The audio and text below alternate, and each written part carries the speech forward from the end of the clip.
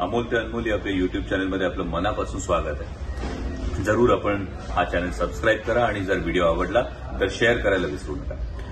परवा मी एक पोस्ट ट्विटरवर केली होती पुणे आंतरराष्ट्रीय विमानतळाच्या संदर्भात आणि या पोस्टवर अनेकांनी अनेक पद्धतीनं प्रतिक्रिया दिली.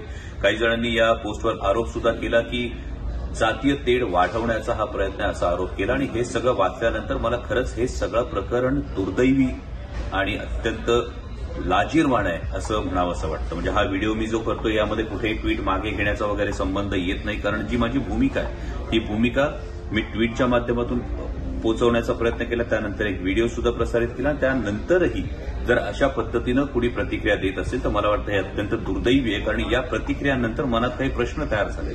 म्हणजे मनातला एक सगळ्यात महत्त्वाचा प्रश्न आहे की प्रत्येकच गोष्टीकडे आम्ही जातीय समीकरणातूनच पाहणार का? हा प्रश्न आहे. आणि दुसरा प्रश्न आहे आपली चूक समजली तर ती चूक इतरांच्या लक्षात येऊ नये म्हणून तिच्यावर घाईघाईने पांघरून घालण्यासाठी त्याला जातीयते निर्माण करण्याचा आरोप आपण करणार आणि या संदर्भातला आजचा हा व्हिडिओ जरूर पहा अमोल ते अनमोल या आपल्या युट्यूब चॅनल परवा दिवशी मी ही पोस्ट केली पुणे आंतरराष्ट्रीय विमानतळावर मी उतरलो आणि तिथल्या लाऊंजमध्ये बसल्यानंतर माझ्या निदर्शनास आलं की पेशवाईतली काही सुंदर चित्र तिथे लावली होती. मी विचारलं केवळ ही चित्र आहेत का?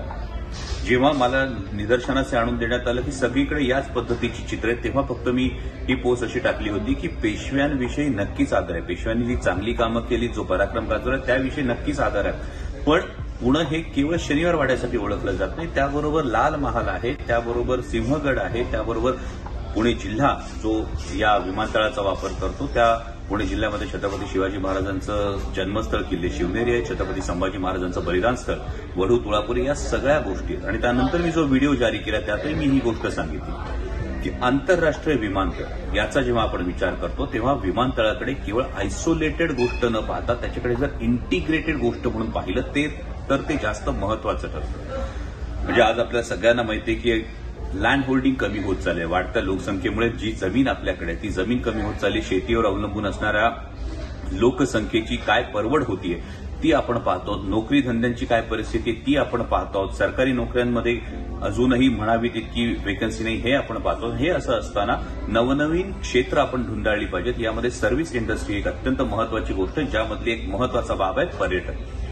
जर काश्मीर सारख्या राज्याची संपूर्ण अर्थव्यवस्था ही पर्यटनावर चालू शकते तर आज आपल्या पुणे जिल्ह्यामध्ये इतक्या महत्त्वाच्या गोष्टी आहेत इतक्या चांगल्या गोष्टी आहेत त्याचं प्रदर्शन किंवा त्याची ओळख ही करून देण्यासाठी आंतरराष्ट्रीय विमानतळाचा वापर आपण का करू शकत नाही? हा साधा सरळ प्रश्न होता. म्हणजे पुणे जिल्ह्यामध्ये जुन्नर तालुका आहे जुन्नर तालुक्याला पर्यटन तालुक्याचा दर्जा दिलेला आहे. छत्रपती शिवाजी महाराजांचं जन्मस्थळ आहे. अष्टविनायकापैकी म्हणजे ओझर असेल लेण्याद्री असेल पुढे रांजणगाव असेल देऊर असेल मोरगाव असेल अशीच ठिकाणं आहेत.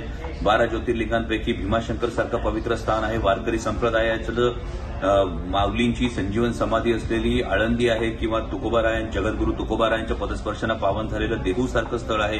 कपिचित बौद्ध लेणी आहेत. इतकंच नाही तर निमगावचा खंडोबा आहे. पलीकडे पुणे जिल्ह्यामध्ये छत्रपती शिवाजी महाराजांची पहिली राजधानी किल्ले राजगड आहे. त्यानंतर अवघ्या महाराष्ट्राचं कुलदैवत असलेला खंडेराय हा जेजुरी निवासस्थानी आहे. या सगळ्या गोष्टी जर आंतरराष्ट्रीय विमानतळाच्या दृष्टीनं दिसल्या तर ती जास्त महत्वाची गोष्ट नाही का? मग यामध्ये जातीय समीकरण आलं कुठे? आणि हा जर संकुचित दृष्टिकोन ठेवून आपण अशा पोस्टकडे बघणार असू तर खरंच हा प्रश्न विचारा असं वाटतो. की जातीयतेची कावीळ झाली की काय आपल्याला? म्हणजे आपण शाश्वत विकासाचा विचार करणार नाही विकासाच्या दृष्टीनं दिलेल्या सूचनांचा विचार करणार नाही केवळ त्याच्यावर जातीयतेची चिखलफेक करून त्यातलं संपूर्ण जी भावना आहे त्यातला जो संपूर्ण विचार आहे तो दडपण्याचा जो प्रयत्न होतोय. मला वाटतं हे खरोखर दुर्दैवी कारण हे जे सगळं सांगितलं यातून जर उद्या पर्यटनाला चालना मिळाली यातून जर स्थानिक तरुणांना रोजगार मिळाला तर त्या रोजगाराला कुठलीही जात नसते त्या रोजगाराला कुठलाही धर्म नसतो त्या रोजगारामधून विकास होतो त्यातून कुटुंबाला सक्षम होण्याची संधी मिळते. म्हणजे एक साधी गोष्ट सांगतो आंतरराष्ट्रीय पर्यटकांचे जे एकूण ज्याला आपण टुरिस्ट बिहेवियर ज्याला म्हणतो म्हणजे दिल्ली विमानतळावर आंतरराष्ट्रीय पर्यटक येतो त्यानंतर तो आंतरराष्ट्रीय पर्यटक एक दोन दिवस दिल्लीमध्ये घालवतो त्यानंतर आग्र्याला जातो ताजमहाल पाहतो तिथून तो गोव्याला जातो. जेव्हा मुंबईमध्ये आंतरराष्ट्रीय पर्यटक येतो तेव्हा तो पर्यटक मुंबईमध्ये एक दोन दिवस घालवतो त्यानंतर तो अजंठा वेरूळची लेणी पाहण्यासाठी जातो आणि तिथून तो गोव्याला जातो. यापेक्षा जास्त काळ जोपर्यंत आपण महाराष्ट्रामध्ये आंतरराष्ट्रीय पर्यटकांना येण्यासाठी उद्युक्त करणार नाही त्यांना थांबवून घेणार नाही तोपर्यंत या पर्यटन व्यवसायाला पर्यटन व्यवसायाच्या माध्यमातून स्थानिक पातळीवरच्या रोजगाराला संधी कशी मिळेल?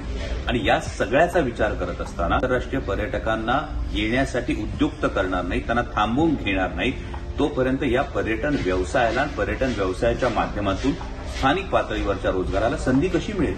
आणि या सगळ्याचा विचार करत असताना हीच भावना होती की आंतरराष्ट्रीय विमानतळ हे यासाठीचं एक उत्तम साधन होऊ शकतं. कारण कोणत्याही विमानतळावर कोणताही प्रवासी मग त्याला डोमेस्टिक टुरिस्ट असेल किंवा इंटरनॅशनल टुरिस्ट असेल हा जेवढा वेळ घालवतो या वेळामध्ये जर ही गॅलरी दिसायला लागली जर हे कुतूहल चाळवलं गेलं तर ती गोष्ट फार महत्वाची ठरेल याच भावनेतून ही गोष्ट केली गेली. परंतु काही नेत्यांच्या सुद्धा याच्यावर प्रतिक्रिया आल्या आणि त्या प्रतिक्रिया अशा होत्या की अमोल कोल्हे यांनी जातीय तेढ निर्माण करण्याचा प्रयत्न करू नये.